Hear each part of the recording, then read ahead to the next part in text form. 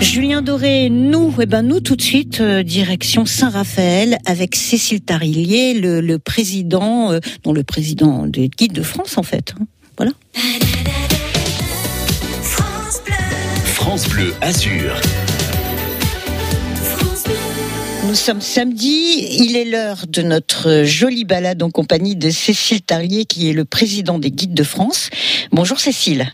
Bonjour Daria, bonjour les auditeurs. Vous avez décidé aujourd'hui de nous emmener à Saint-Raphaël pour tout nous raconter sur cet endroit. Oui, tout à fait, Saint-Raphaël. Alors les origines de la ville de Saint-Raphaël, ce sont des origines qui sont très anciennes, vu qu'à la préhistoire, Saint-Raphaël est habité au niveau de trois endroits, au niveau de trois sites. Valescure, Vessières et la Cabre.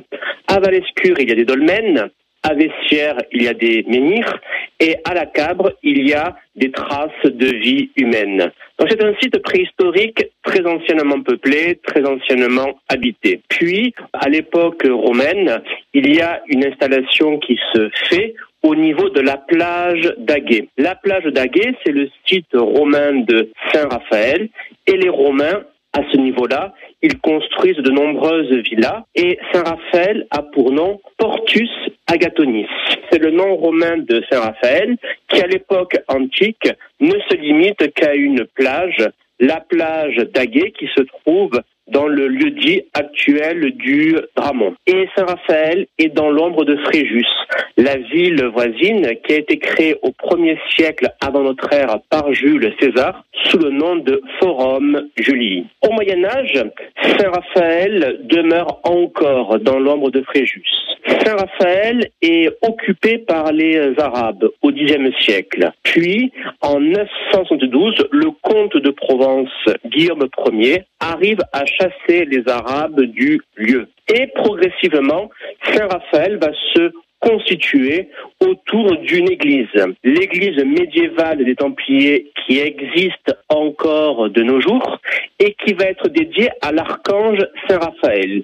Ce qui fait qu'au XIe siècle, il y a désormais deux sites à Saint-Raphaël. Il y a la plage d'Aguet ainsi que l'église des Templiers qui est dédiée à Saint-Raphaël et qui va expliquer d'une certaine façon la formation du Saint-Raphaël actuel.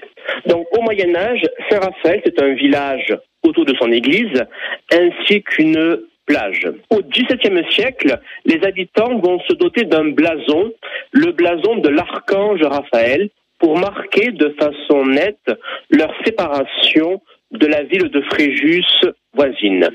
Puis, à la Révolution française, c'est une toute autre histoire qui se dessine pour Saint-Raphaël et dont nous parlerons dans quelques minutes. Merci Cécile, à tout de suite. Allez, on écoute Angèle interpréter libre et on regarde de Laila, Plant Whiteys. C'est beau. France Bleu, France Bleu Azur. Nous voilà repartis pour notre euh, deuxième épisode sur Saint-Raphaël avec Cécile Tarlier qui est le président des Guides de France.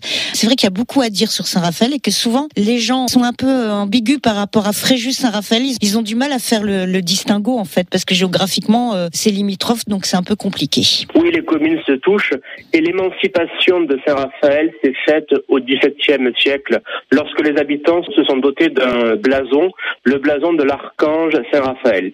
Il faut savoir que Saint-Raphaël, c'est à la fois un village portuaire ainsi qu'une plage, la plage d'Aguet. Et c'est à ce niveau-là que le général Bonaparte a débarqué le 9 octobre 1799 de retour de la campagne d'Égypte. Et il a laissé une pyramide qui peut encore se visiter dans le centre de la ville. Au 19e siècle, Saint-Raphaël se développe grâce au tourisme et grâce à l'arrivée du chemin de fer. La gare de Saint-Raphaël-Valescure est construite en 1863 et le tourisme a été dynamisé dans la ville grâce au maire de l'époque Félix Martin et grâce à un journaliste Alphonse Carr. Donc le journaliste Alphonse Carr parle de Saint-Raphaël dans la presse parisienne et il attire à lui les écrivains de l'époque. Et parmi les grands écrivains qui se sont établis à Saint-Raphaël ou qui ont passé des vacances, il y a Guy de Maupassant.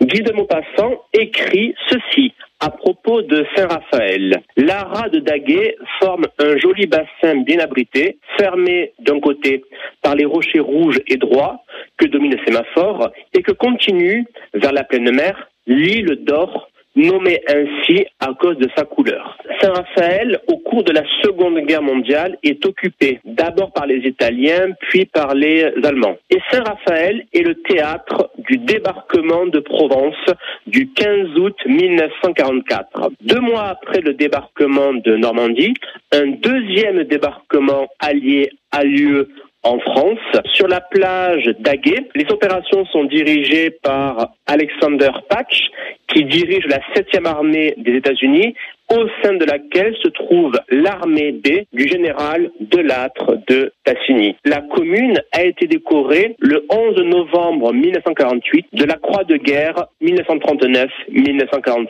S'il y a des conseils de visite que les guides de France peuvent donner, il y en a trois.